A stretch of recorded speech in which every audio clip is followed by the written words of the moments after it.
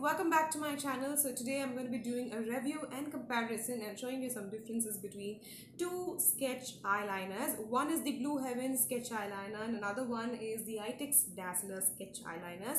These are totally affordable and they work brilliantly. So let's get started and if you are new to my um, channel please go and hit the red subscribe button because it means a lot to me and give this video a big thumbs up if you really enjoyed it. So let's get started. So first things first, which is the price. Both of these are priced at just 225 which I think is quite affordable and not uh, too high or too low. And the quality and the quantity, both of them carry is really good. And the Eyetex Dazzler is um, having 2 ml of the product inside and this one is having just 1 ml which I don't think is something very great because we are just ignoring high, uh, eyeliners, the quantity and everything when we are just wearing it on our eyelid.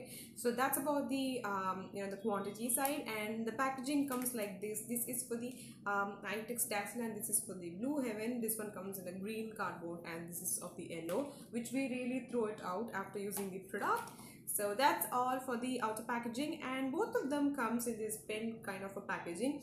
This is like some parker pen or something and this is like a ballpoint pen. So this is quite quite decent and this is like a very childish and very fancy thing so which i like. So and once we open the packaging both of them have the felt tip applicator. As you can see both of them have the felt tip applicator and both of them have very easy um, you know movement to draw your winged line. And both of the pigmentation is like this. As you can see this one is the Eyetex Dazzler and this one is the Blue Heaven.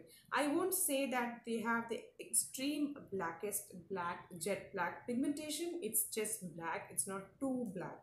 So if you are someone who wants a jet black then don't go for this both of them settle into semi-matte finish so don't worry about transferring on your eyelids or somewhere and both of them do not smudge or get watery. And uh, the Eyetex Dazzler is a little uh, you know less waterproof when compared to the Blue Heaven because I tested both of these underwater and I found that the Eyetex Dazzler um, got rubbed easily. So I think this one is a little little, little water um, you know less water resistant. And this one is kind of a good water resistant. So staying power is like a super duper thing because even um, you know a thousand rupees eyeliner does not stay for a long time like both of these stayed because this one stayed for about six to seven hours after which little fading happens. And this one stayed for a really really good hours about eight hours which is super duper cool. And anyone going to office or college i think this one is your star maybe because this is something really really good. For eight hours i think it's enough. So staying power both of them is uh, having the same quantity of stay hours but this one fades a little bit after some time